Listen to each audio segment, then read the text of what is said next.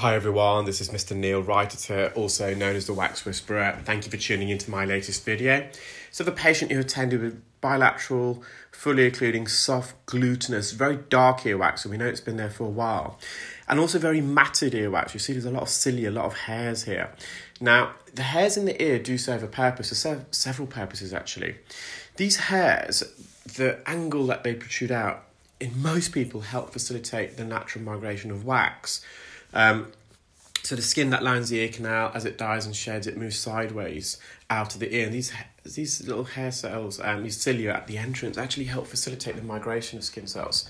Also, um, these hairs in the ear also help filtrate the air that enters the ear. So any dust, pollen, foreign particles, a bit like with our um, nasal um, entrance, we've got a few cilia there. Uh, they help filtrate the air um, and purify the air so there's no foreign body, um, bodies or pollen dust entering the ear.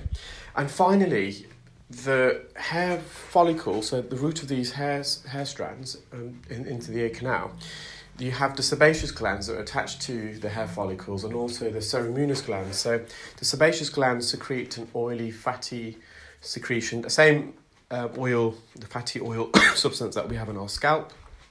And ceruminous glands are um, oily sweat glands, and these um, are attached to the hair follicles, and as they produce the, um, the sweat and the oil, they travel up the hair strands into the ear canal. And that combined with dead skin forms earwax. Now, earwax is actually healthy, it's good, it performs a protective, uh, obviously, if it, not in excessive amounts, it's not, of course. But this oil, this sweat, and dead skin, as it um, amalgamates to form earwax, it provides a protective coating of the ear canal uh, prevents the canal from drying and cracking the skin. Uh, it's generally hydrophobic, so it helps water repel out to the ear.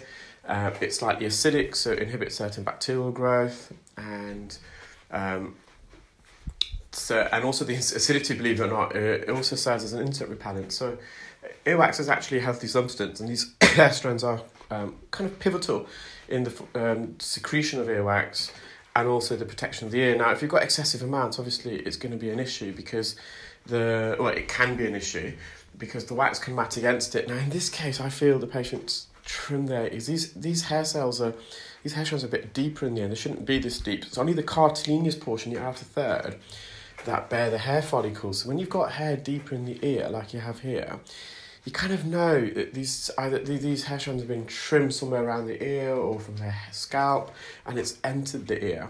I'm sorry I didn't really talk much about the procedure, but you can see there, I was just removing wax, we can see a beautiful view of the eardrum there.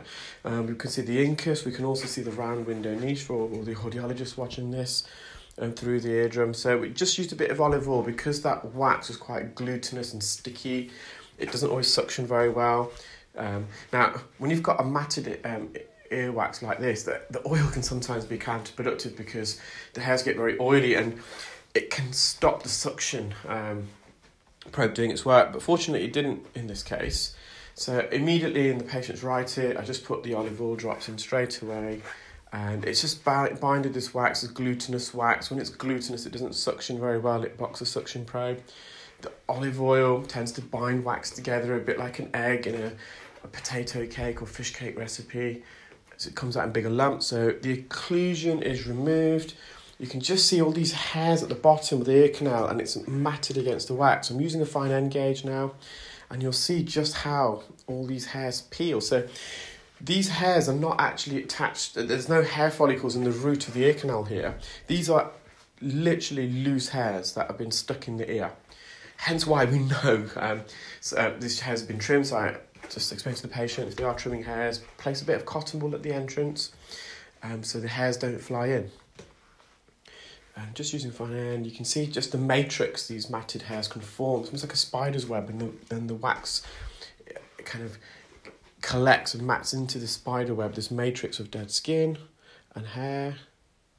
So we're just peeling this forwards off the anterior canal wall. You can just see all these hairs are all. Um, I used to have a a German Shepherd many years ago. Her name was Callie, and um, oh, I spilled some water accidentally on the back of her. All this hair got matted, and it's similar to this. And again, a beautiful view of the eardrum. I hope you enjoyed that video, guys. Take care, keep well.